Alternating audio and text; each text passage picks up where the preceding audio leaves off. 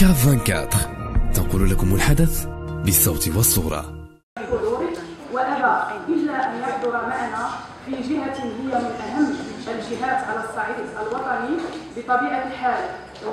السلام عليكم. تحية كبيرة لجميع الحضور اللي جاوا اليوم حضروا معنا هذا الحدث الكبير إن شاء الله. مافو الاتحاد الوطني للمقاول الذاتي هو جمعيه مهنيه متخصصة في المقاول الذاتي والمقاوله الذاتيه وتنميه المقاول الذاتي والمقاوله الذاتيه على الصعيد الوطني. كما كتشوفوا حاليا اليوم كاين اجتماع هنايا في غرفة آه، الصناعه والتجارة والخدمات هنا بالرباط من أجل تاسيس فرع جهوي للاتحاد الوطني للمقاولين الذاتيين.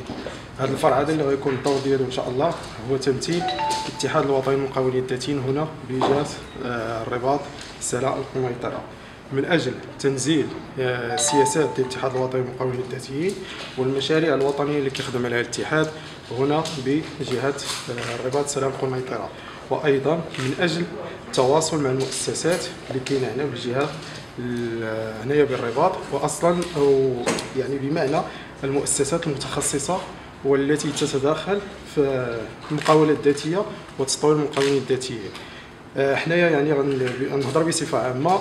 الهدف ديالنا هو في الجمعيات الاتحاد الوطني للمقاولين الذاتيين هو الترافع الدفاع وخلق مشاريع آه، ربحية اللي كتزيد في المدخول الفردي ديال المقاولين الذاتيين وزائد هذا الشيء يعني هيكلة القطاعات غير مهيكلة. اللي نعطيوهم واحد الفرصة باش إن شاء الله أنهم يندمجوا في الدورة الاقتصادية الوطنية باش يكونوا خدامين بواحد الطريقة اللي هي قانونية.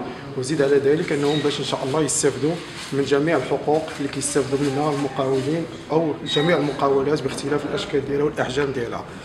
كما كتعرفوا أن إن شاء الله جاي واحد الورش كبير هنا في المغرب اللي هو التغطية الصحية والضمان الاجتماعي لجميع الفئات منهم المقاولين الذاتيين. لهذا كما قلت لكم سابقا حنا هنايا في الاتحاد الوطني للمقاولين الذاتيين غنحاولوا كنحاولوا باش إن شاء الله ندخلوا جميع القطاعات المهيكلة تحت هذا الإطار هذا اللي هو إطار المقاولة الذاتية باش إن شاء الله يكون الاندماج ديالهم السريع ويستافدوا هما والعائلات ديالهم في التغطية الصحية والتعويضات العائلية. نحن جد سعداء آه، بحضور معكم اليوم في الجمع التأسيسي لمكتب جهة رباط سلطه قنيطره.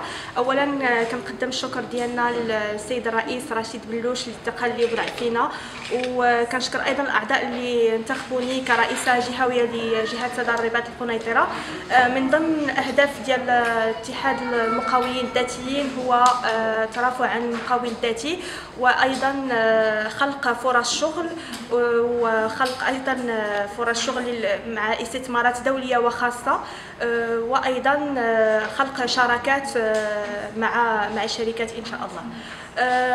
وأيضا تنظيم ورشات تكوينية وبرامج تدريبية وتحسيسية من أجل تقويه مهارات المقاول الذاتي إن شاء الله.